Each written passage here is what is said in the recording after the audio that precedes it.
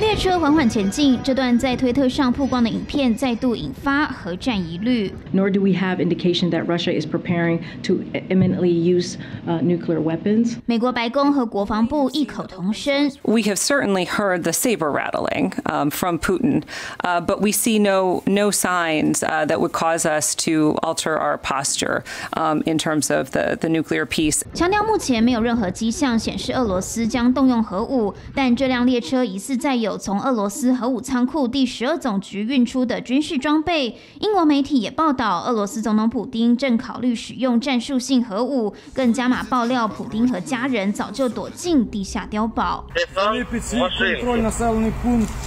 乌克兰前线屡传捷报，持续逼退俄军。根据外媒报道，短短四小时就让乌东亲俄部队撤退十英里，收复不少城镇。只是前线失利，恐怕增加普丁动用核武的可能性，就怕核战一触即发。